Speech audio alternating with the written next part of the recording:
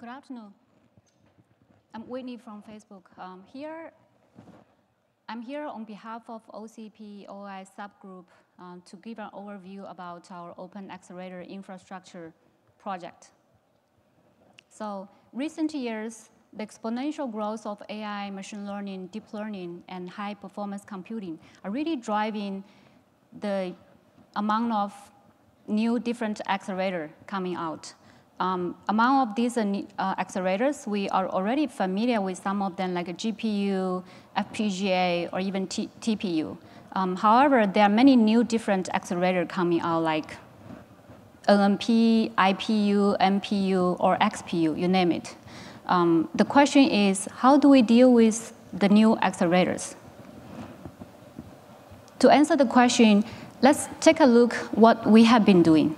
So on the left side, you see um, typically when the accelerator coming out, they are being implemented into a physical form factor, um, either like PCIe CEM form factor or um, proprietary module, and then being implemented into our system. On the right side, you see we created many different accelerator systems.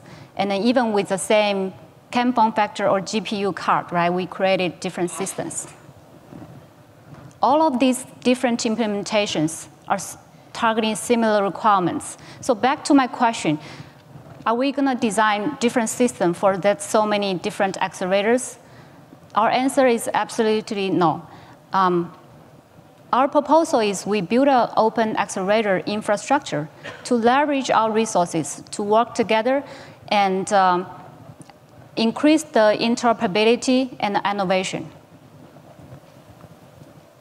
So we started with the project OAM. Um, you probably already um, heard it many times, like OCP accelerator module. And in this module, we built a common form factor mezzanine module for the upcoming accelerators.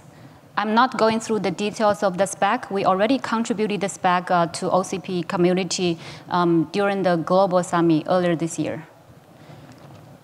And at the same time, we formed the OAI subgroup under um, OCP server project. Um, this group would like to build the infrastructure for the upcoming products that meet OAM spec. Um, our scope is really to define the physical and logical aspects, such as um, electrical, mechanical, thermal um, management, security, hardware security, and uh, serviceability to build the environment, to build the infrastructure uh, for the upcoming products. So if we take an explosion view of a typical disaggregated accelerator system, right? Uh, we put, for example, we put eight OAM together. We need to define what the carrier, the carrier board, and uh, the power distribution path, the host interface, um, the security control management interface, and then we also define the IOs and also define the expansion to scale out. Thermally, we also need to cover the cooling solution for the system. And uh, mechanically, we build the tray and chassis. And then we put all of them together. Uh, here comes our OAI projects. So these are the nine schedules, spec chapters we're going to cover by this project. Our first schedule is the OAM. We already contributed spec um, 0.85 earlier um, in March, and then we update the spec to 1.0 um, at end of July. And then at the same time, we have been working with the different accelerator suppliers to enable the OAM solutions. Um, in March, Intel already shared the Nervana um, NNP-based OAM, and uh, in June, um, Habana launched the Gaudi, the training processor Gaudi OAM. And today, I'm really happy um, to announce that AMD and NVIDIA enabled the product concept OAMs. Um, I actually have the real hardware to show here.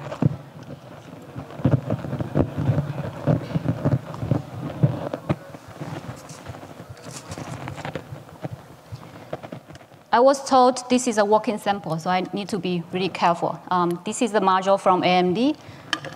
And uh, from NVIDIA, this is a product concept based on Volta 100.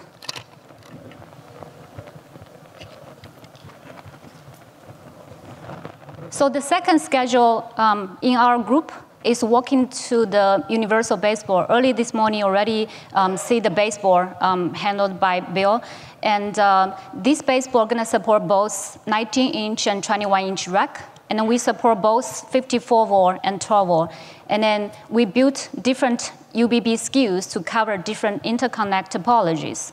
Um, we also have the uh, QSFP-DD connectors to cover the scale out. I'm not going through the details of the design. Uh, we have a UBB workshop tomorrow to talk about the details of the design and how the universal baseboard going to help us, help the com community. Appreciate to um, the four system provider volunteers, um, Inspur Hyve Design Solution, ZT Systems, and, and Inventec. Um, at the same time, we work together to build the OAM reference systems. And then these systems are using the interchangeable universal baseboard, and then they actually share the common tray. We also have a workshop tomorrow to talk about the detailed system design, what are the challenges, and then how we deal with the problem.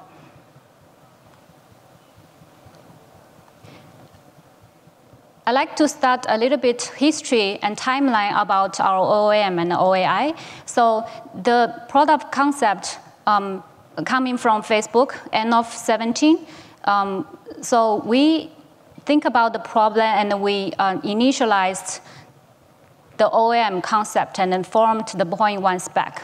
And then by end of Q3, we start to engage with community, and then we worked with a Microsoft and Baidu together to define the, the, the spec. And then earlier this year, we contributed the spec and formed the OCP subgroup. So here is what we're doing, like uh, around the year.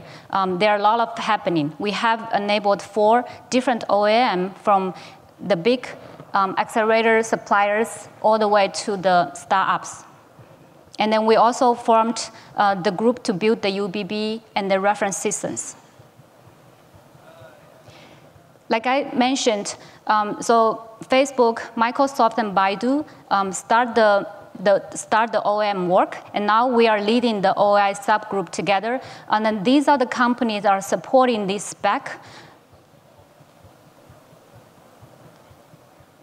So compare with the, the, the companies um, we shared earlier this year, this year during the uh, global summit, the number of companies increased uh, 47%. And then I'd like to um, really thank you, these companies, and in, in the OAI joint development group, um, we really worked really, uh, really hard together to define the spec and then to start like to start to form and align the spec to contribute the community. And then the way how we work together um, is the way how we produce and then make it the work more efficient. So please come to our experience lab and we have the uh, product concept and the reference systems and also the um, accelerator modules to show in our experience lab in the upstairs. Um, come to visit us. So here the workshop tomorrow. Um, so except for the overview, the universal baseboard reference system I mentioned earlier, we also have a workshop talking about the system management, security, and also the control on the OAI. Um, and then cooling. Uh, cooling is um, a big topic for the OAM. Um, if you are familiar about our OAM spec, um, OAM actually can support up to 700 watt. Um, and uh, we have some study about the liquid cool solution, and uh, we actually have a reference system demoed by Inspur um, in the booth. Um, we have a liquid liquid cool solution um, coming out as well. Uh, we're going to talk about this tomorrow. Um, please join us. And then we also have a panel discussion. We invited uh, different OEM su um, suppliers and then join us together. Come to join us and then to ask questions. Thank you.